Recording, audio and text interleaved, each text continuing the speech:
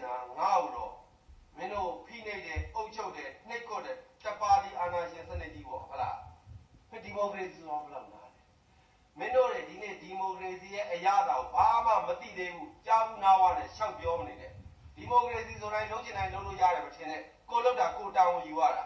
မင်းလောက်တာအဲ့လိုတာဝန်ယူနိုင်တဲ့အရေးချင်းမင်းမှရှိပလားဒီမိုကရေစီပဲဖြစ်ဖြစ်ဘယ်ခေတ်ပဲဖြစ်ဖြစ်အထိန်အကွက်တွေတရားဥပဒေတွေဆိုတာခေတ်တိုင်းမှာရှိနေမှာပဲအဲ့ဒါမင်းသိရလား